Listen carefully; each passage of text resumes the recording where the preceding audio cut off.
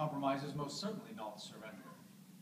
It is quite uh, the opposite. It is, in fact, sir, the bedrock on which all good government is laid. It is only by finding uh, an agreement that we can see government proceed. By finding what we hold in common, that we might continue to greater strengthen our nation.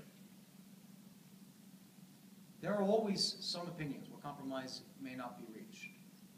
There are always some opinions which are more important than others, and I am not suggesting that you should allow those to drift aside.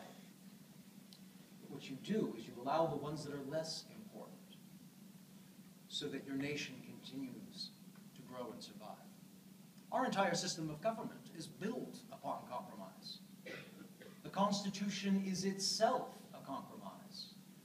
I can tell you very, uh, very plainly that when we first gathered, that not every man in that uh, chamber, in the convention, had the same opinions on what our new system of government should be.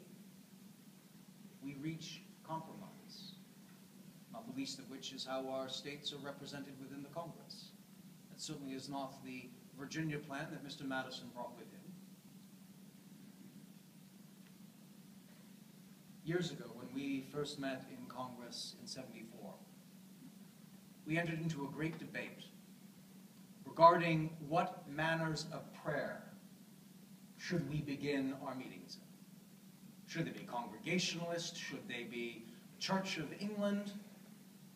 And one of the wisest members of the Virginia delegation, the eldest member of our delegation, Colonel Bland, he stood up and he said, this didn't matter, that we must remember why we are gathered, which was to determine whether or not we would have our rights and liberties as free-born British subjects stripped away from us.